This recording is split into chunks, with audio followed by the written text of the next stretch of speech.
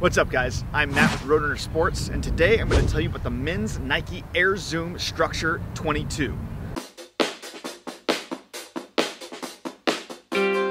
So, a lot of details in the shoe. I want to get right into it. We're going to start with the upper because that's where most of the details are, why the shoe is so awesome.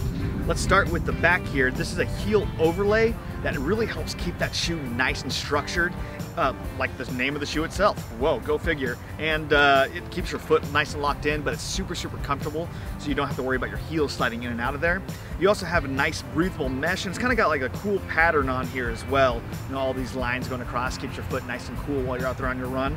And of course, staple of Nike in the upper is those Flywire cables. The Flywire cables basically just uh, lock that foot in so it's nice and comfortable. It doesn't pull down on the top of your foot at all, but it makes sure that it wraps your foot nice and tight, uh, or nice and secure, I should say. And speaking of wrapping your foot, it also has something called a partial bootie inside the shoe and it's like stitched in on the inside there. I can't really show it to you because it's on the inside, but that bootie wraps your foot just like a burrito. Um, so it uh, keeps your foot nice and uh, juicy. Okay, uh, I don't know. And then it's also got notches in that bootie right here on the tongue area, so you can just pull that shoe right on your foot. You don't even have to unlace them if you don't want to.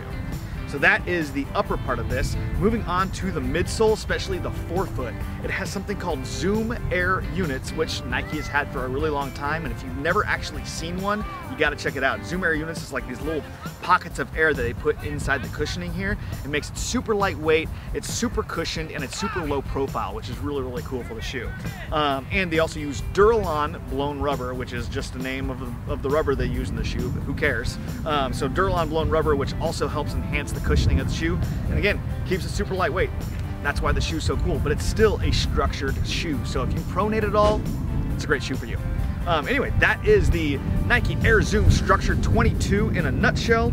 Uh, you gotta try this shoe out. Sign up for Road Runner Sports VIP family and you can try the shoe out for up to 90 days. And if you don't like it for whatever reason, send it back to us and we'll help you find a better shoe that'll fit your needs. And also with the VIP, you can also get these shipped to you for free from the online website. Pretty cool. All right, so order them now. I'll see you guys next time.